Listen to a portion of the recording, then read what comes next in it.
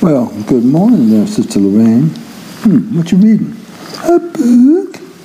Well, I can see that, but well, what's what's the name of it? Where'd you get it? Well, I belong to this book club of the month, and every month they send me a new selection. And this time they sent me something by some guy named Charlie Darwin, and it's called Natural Selection. Well, Cowboy Church going to start up here pretty quick, and boy, I don't know if I'd be branching that thing around the, the Right Reverend Billy Bob because I don't think he takes real kindly to that particular book. Why, why is that? What are you two lovebirds discussing over there? Well, I got this book, Pastor, and Let me see that. Young lady, this is heresy. Blatant heresy you've been reading. well, I don't know about hearsay, but I just want to find out how old Charlie Darwin did his picking and choosing. You know, how he made his selections. Could come handy in my line of work. You know, I, I keep finding a lot of these boys are pretty unnatural. Well, that ain't no instruction manual, and it ain't seemly to be packing that thing here in Cowboy Church. Some children might see it. Well, he, he kind of explains why there were so many different kinds of dinosaurs and other little critters like um, them things in the Galapagos. He was studying iguanas, Sister Lorraine. Iguanas? Did they be like? I had a couple of them come around once. Now listen here. First of all, you know, there ain't no such thing as dinosaurs. Well, what are all those bones they find in Utah with all them gigantic teeth? Them fossils was planted there by the enemy to deceive true believers. Deceiving them into doing what? Well, not coming to church for one thing. Besides, them scientist fellas say that it took millions and billions and billions of years for these amoebas to turn into Tyrannosaurus rex. And from there to be chimpanzees and orangutanians and stuff that eventually they say becomes us. I ain't no monkey's uncle. Well, that could probably be debated pretty successfully in a forensics club or something. What's a forensic club supposed to be? Well, it's kind of like where they debate two sides of an issue, and the winning position prevails. Well, that's what I want to find a winning position. I keep running into all these losers.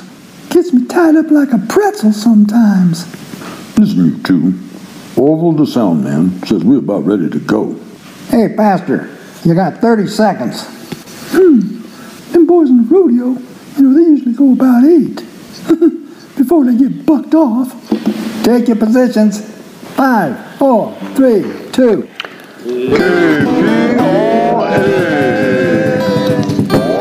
Because we love you. What I'd love to find out is how about the good Lord went about designing them dinosaurs. It was pretty creative, if you ask me. Sister, we're on the air. Good evening out there in Radio Land to all the true believers. We're here having a discussion just now about that infamous Charles Darwin and his wicked book. He called it Natural Selection. He's an evolutionist, you all know. And that goes against Genesis because everybody knows who reads the good book that the planet is only 6,000 years old. I mean, just ask Sarah Palin. Oh, yeah. She was that pretty lady that was a gubernator up there in Alaska, wasn't she? Actually, she wanted to be the vice president. Charge of bites, huh? Your G string's loose. The good book does talk about there being giants in the earth once upon a time. Couldn't rightly expect old Noah to put them critters on the ark, though. They might have done eat all the unicorns. Well, that don't mean he didn't create them. I mean, he even named one after himself. Huh? Yeah, I saw it in a movie. Its name was Godzilla. What say we kick this thing off with a little music here? Yours truly. Got to me, myself, and I, gospel airs, all fit and ready to go. We're ready, Pastor. How about you, Sister Lorraine? Oh, I'm always ready. Well, let's kick it off with one that's a kind of a tribute to our beloved pastor here.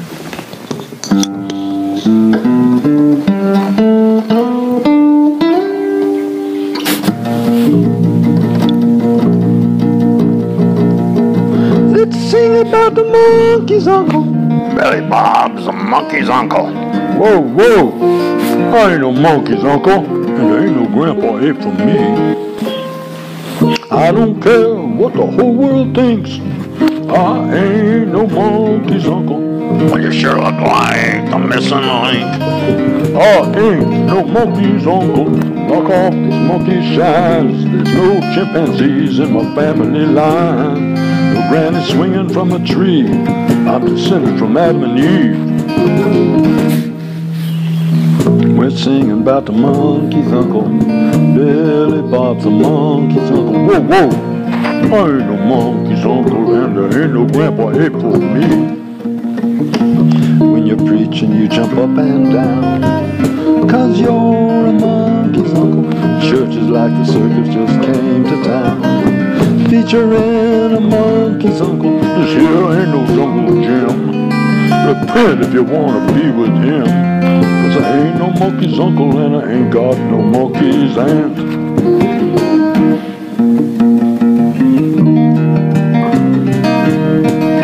I, I feel a trembling coming on. Ooh, ee, ooh, oh, oh, ting, ting, walla, walla, bing, bing. Now, sister, knock off that gifted tongue. You don't need that around here. You don't need to worry, Pastor. You ain't getting no gifts. You big ape. You're nothing but a knuckle dragger. Whoa, whoa, whoa, whoa, whoa. Ain't got no chimpanzee. Scratchy pleasing hanging in my family tree.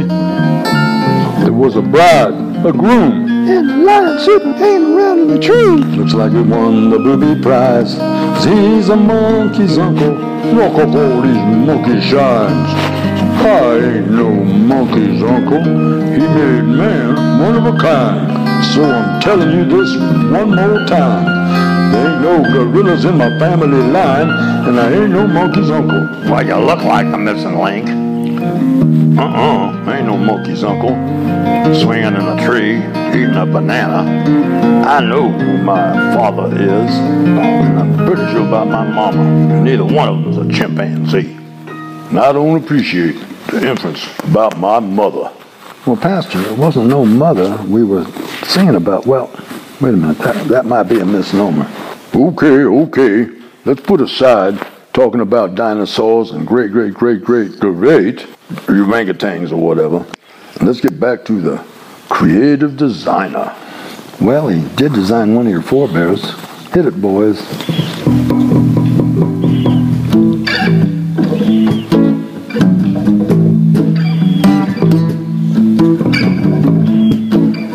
There's a man in Genesis we all know. He lived in Eden a long time ago. God told him he could eat everything that grew except one. So the snake gave him an apple and he had some too. He was the first man to be alive. Found out he was naked, so he ran to hide. Started giggling when she saw his size. Well, it wasn't one of them giants I was talking about. He had a chauffeur who was a dinosaur. No Flintstone car with foot power. And a big old club and a handful of hair. Started screaming, but he didn't care. Went to a cave and tossed her in. That's where they committed the original sin. When it was over, she said, do it again. But by then he done lost his wind. Oh! So he went about replenishing the earth.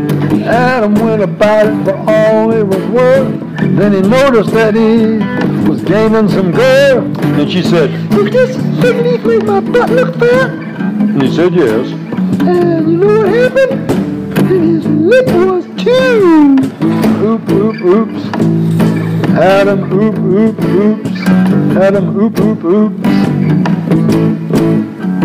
Where do you get this name? Adam Oops. Well, he and he were the two that first committed the original accident. Moving on, I think it's time for the finale, yours truly. Okay, boss. This should wrap everything together.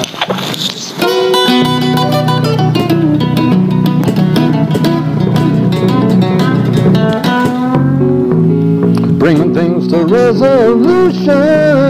Well, who knows how long it took to make the world? Good Lord may have used evolution. Well, you know, none of us here were there. And if you're talking about talking snakes, I'm afraid that you can count me out. Oh, yes, true, you know it's gonna be. Don't you know it's gonna be alright? Just come on home with me tonight. You know you need to be a little less uptight. I think I've got a solution. Well, you know. Find out what the Bible really said.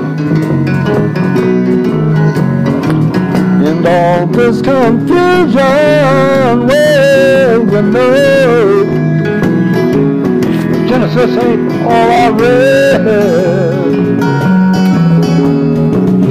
But if you go burning books like you do now, the EPA is gonna take you down.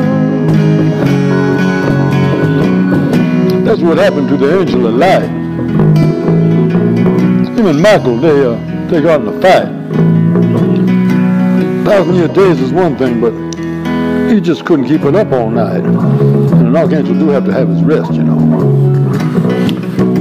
Now see here, boy. You go changing one jot or tittle in that book, you're gonna be in trouble. Here's a job for. Is there cash in the middle? Well, it could be, I suppose, if y'all want to make a little contribution. Well, we done got rid of the ushers. Don't need no middleman. I just give the plate a helping hand. I wouldn't worry about no evolution. when you know, that just wasn't in the good Lord's plan. Besides, we're going to change the Constitution.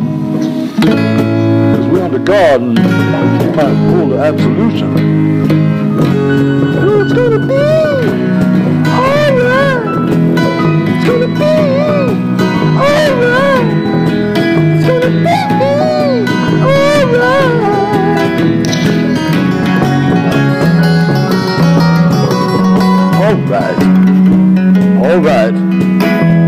Folks out there Radio Land, it's time to say good night. We'll see you next time around here at Cowboy Church. God willing, creek don't rise. Oh, I hope it doesn't. I don't want to get my hem wet. Huh. What you're wearing, you'd have to go strolling in the deep end. Hmm. Maybe the good Lord will give me some water wings. Well, maybe I'll ask the Lord to give you some holy dainties, because after all, you'd be up in the clouds. We'd be down here looking up. Not to mention them angels when you do your somersaults. You know, Pastor, sometimes you're a real Homo erectus. Uh, uh, excuse me, homie don't use.